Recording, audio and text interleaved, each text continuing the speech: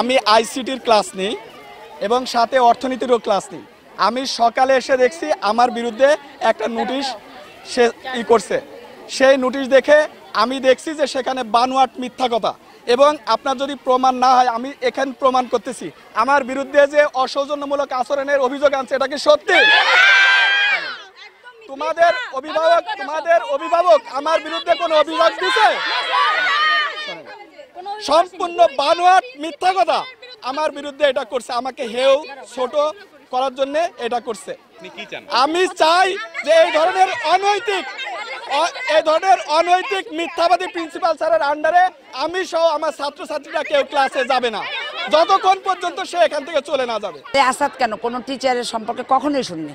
Senior হিসেবে ডেকেও বলে নাই যে এই ব্যাপারে একটু কথা বলি বা কিছু বলে নাই নিজেরা নিজেরা মানায় নেওয়ার চেষ্টা করছি বোঝানোর চেষ্টা করছি। হ্যাঁ এই বছর তার আগে ওরা সিনিয়র যারা অনেক বুঝে চেষ্টা করা হয়েছে কিন্তু সেটা মানা হয় গাছ কাটা তারপরে যে ওই যে গাছের আনতে হবে সব ব্যাপার। তারপরে পুকুরের মাছ মেয়েদের সাথে এবং যেসব কথা আসছে এগুলো সত্যি প্রিন্সিপালের কাছে এসে যে আমাদের কম্বাইন ক্লাসটা যেন ভাগ করে দেওয়া হয়। এখন আমরা শুনতেছি যে আমরা নাকি বলছি যে আমরা আসাদুজ্জামান স্যারের ক্লাস করব না, আসাদুজ্জামান স্যার আমাদের সাথে বাজেট ব্যবহার করছে। আর এইটা নাকি আমরা বলছি সায়েন্সের মেয়েরা যে নাকি আমরা যে গেছি তার প্রমাণ কোনি সিসিটিভি ক্যামেরা আছে এখানে সিসিটিভি ফুটেজ দেখায়। আমরা যদি ফোনে বলি, তাহলে ফোনের কল রেকর্ড দেখাই যে আমরা বলছি। আমরা বলি না, এটা সম্পূর্ণ মিথ্যা কথা। আমাদের এই যে এই যে কার্ডটা এই কার্ডটার জন্য আমাদের একশো টাকা করে দিতে হয়েছে প্রথমে। এই কার্ডটা আমি সহ অনেকে কিনে নেই এবার জন্য দুইশো টাকা করে দাবি করে। আমরা একদম সৎ প্রিন্সিপাল চাই ছিলাম সেখান থেকে শুনতেছি যে আসাদ স্যারের নামে একটা কমপ্লেন আসছে। কিন্তু এটা একদম ভুল। স্যারের মতো ভালো ব্যবহার। আমি এখনও সত্যি স্যার আমাদের কোনোদিনও একটা মানে খারাপ ভাষায় পর্যন্ত কথা বলিনি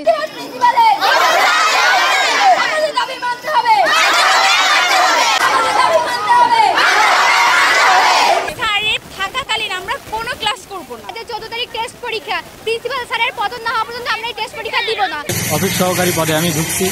কিন্তু এখন অফিস সহকারী পদ থেকে আমাকে ওখানে না দিয়ে আমাকে দারোয়ান পদে দেওয়া হয়েছে।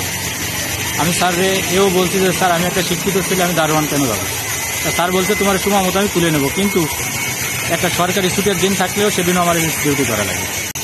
আর যদি বা আমার চারটে পর্যন্ত থাকা লাগবে, তাইলে আমি অফিস সহকারী অফিসে থাকব। আমি তো গেটে থাকব না। গাছ আছে স্যার গাছগুলো কেটে তো আমরা ফার্নিচার বানাই কিন্তু আমাদের কলেজের হোস্টেলে হচ্ছে কি বেডগুলো ভাঙা। তারপর হচ্ছে সকাল যদি আলু ভর্তাও হয় আলু দেয় আমাদের হাতে। এখানে বানাই দেন আমাদের বাসা থেকে বাসা থেকে পেঁয়াজ আর তেল সব মানে সব বাসা থেকে আনতে হয়। তারপর ধরেন আমাদের বাথরুম মেয়েদের বাথরুম বলে কথা ছিটকিনি পর্যন্ত নাই। তারপর রুমে ছিটকিনি নাই। বেসনের অবস্থা দেখি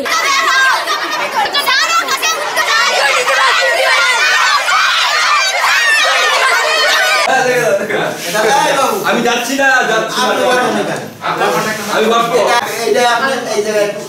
আইসিটির শিক্ষার্থী বিজ্ঞান গ্রুপের ছাত্রীরা আমার কাছে আসেনি। আমি গুঞ্জরণ শুনছি গতকালকে দল বেঁধে সব আসছে এবং এসে দেখে যে আসাদুজ্জামান এখানে বসে আছেন এবং আসাদুজ্জামানের দেখে ওরা সব সরে যাচ্ছে। ঠিক আছে? যাতে স্যারের সামনে গেলে আহ, বিপদ হয়ে যেতে পারে। তখন আসাদুজ্জামান, এই মেয়ে এই মেয়ে মানে এইভাবে তাদেরকে ইশারা করে একেবারে জোর করে ঢুকাইছে। এইবার আমার সামনে পড়ি, আমি প্রিন্সিপাল আমি প্রফেসর আমার সামনে পড়ি তাদেরকে অকথ্য ভাষায় বলা বলি করছে। বাইর করে দেয়, তারপর বেয়াদব বলে, এ করে, তা করে মানে সে খুব অকথ্য ভাষা। বুঝছেন? যেটা আমি ছাত্রীদের মুখ দিয়ে শুনেছি। এখন সবাইকে সংগঠিত করে আগে শিক্ষকদেরকে সবে করছে, আমার রুমে আসতে দেবে না, ওই জায়গায় পড়ি দল পাকাচ্ছে। ঠিক আছে? তারপরে ছাত্রীদেরকে সব নামাই তারপরে এই এই মুখটা সৃষ্টি করছে। এটা কি অন্যায় না? এটা, এই যে এটা দিছি, আমি কি এমন কিছু দিছি? এটা কারও কাছে দেওয়ার জন্যই দিছি? আমি নিজে দিছি যে ওরে সায়স্তা করে যাতে ক্লাসে ফিরে বা যদি ক্লাস না নেয়, সেও দেবে। আমি যতক্ষণে সুরা না হবে, ততক্ষণ আমি ক্লাস নিতে বারণ করছি। এই এই, এতেই লেখা আছে। উপরোক্ত কারণে তার আইসিটি ক্লাস গ্রহণ করা বন্ধ থাকবে। যতদিন এর সুরা না হবে। দাবি করছে, অপসারণ দাবি করলেই তো আর হবে না। অপসারণ দাবি করতে গেলে তার যুক্তি থাকতে হবে। আমি তাদের ভালো চাই। এবং এই কলেজের শিক্ষার উন্নয়নে আমি যথেষ্ট অবদান রেখেছি। এই চার বছরে এই পঞ্চাশ বছরে যা হয়নি, আমি তাই করেছি। তদন্ত তো সবসময় হচ্ছে।